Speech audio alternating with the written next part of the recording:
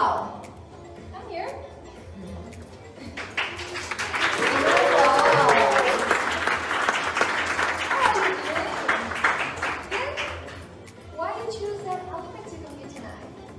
Well, it's the national costume, and I try to a bit modify this in a modern fashion, including the originality of my national costume and I want to showcase my country's tradition and culture to the entire world. That's why I'm wearing the hat and putting on this dress. Thank you so much. It's beautiful. Thank you, Raquel. Another one that ah, caught my eye was Venezuela. ¿Cómo estás, Venezuela? Muy bien, ¿y tú? Well, I'm very irreverent, so that's why the crosses, that's why I like shirtless. I think the color goes well with me, and that's why I choose it. It boosts my energy and it boosts my personality. Perfect. I love it.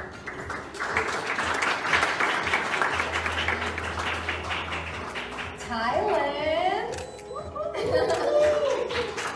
How are you? I'm great. Yes. You want to see? Say anything to all your followers that are watching ครับทุกคนสวัสดีครับ ขอบคุณที่ติดตามต้นกล้ากันมาถึงตรงนี้นะครับตื่นเต้นมากเลยแล้วก็รักทุกคนนะครับ Love you, Thailand. So, what inspired your outfit?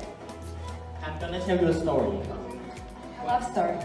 One day I was wearing a white suit and then I slept on a newspaper and then I woke up. Ooh, this outfit and the Well done. This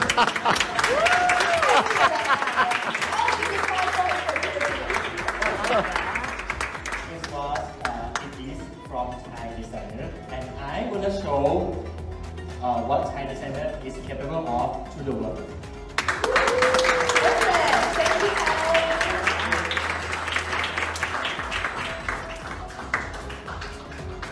India.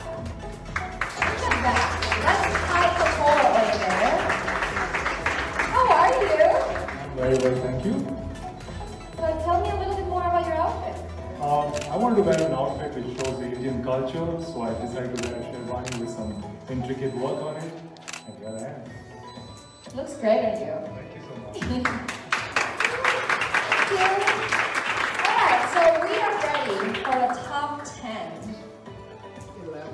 Top, oh, top 11. Are you guys ready? Give me one second so I get the results.